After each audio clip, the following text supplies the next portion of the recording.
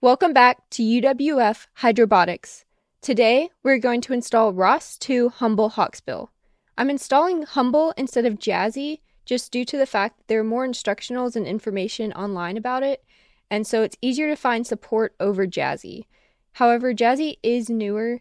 If you're working on a project and you plan to finish after 2027, Jazzy would be better to use because it's getting updates through 2029, whereas Humble is only getting updates through 2027. But if you plan to use ROS for longer, you can always upgrade at a different time or go ahead and get Jazzy now. But I'm going to be downloading Humble on the Jetson Orin Nano Super sent to me by NVIDIA. But if you're just planning to learn the basics, you can also use VirtualBox on a non Linux computer to download ROS that way. ROS has an installation guide on their website that I'm following for the deb package. You can also build from source, but that takes longer.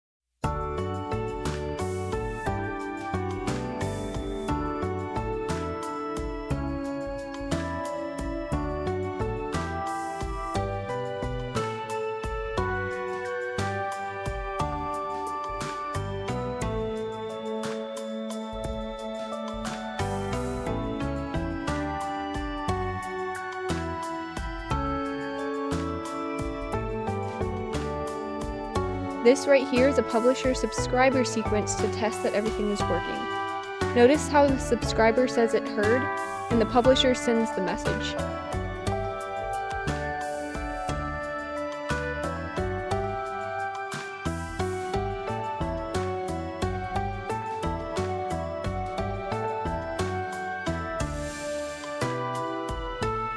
They also have getting started tutorials, and the first lesson from the first few modules has some helpful downloads you probably will want, even if you do not plan to do all the tutorials or just re-downloading the software on a different device. I'm going to do the first one of each of these tutorials just to show the installation.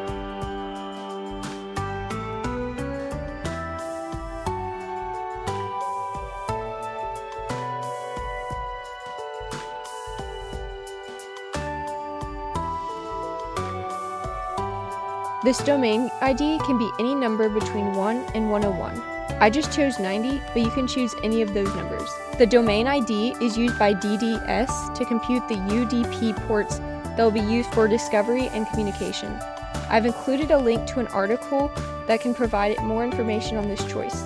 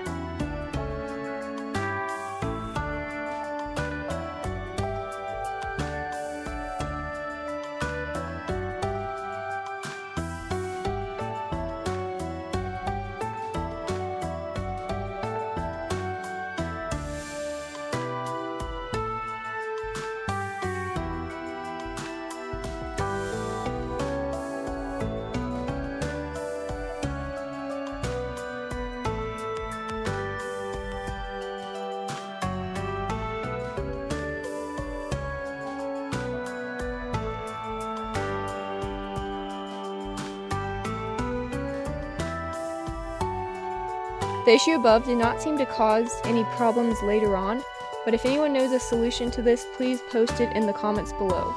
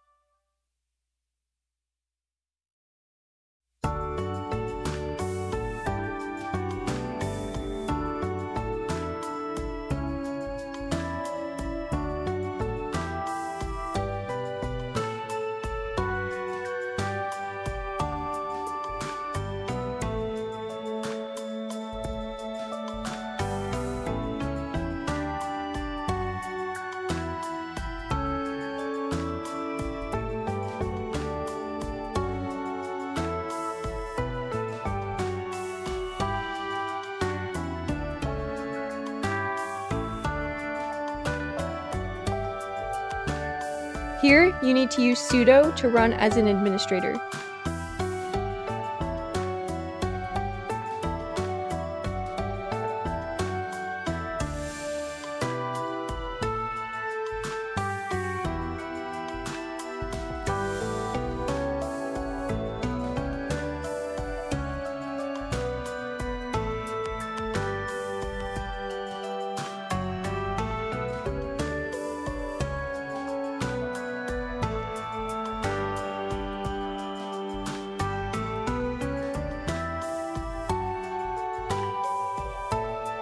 And that's it.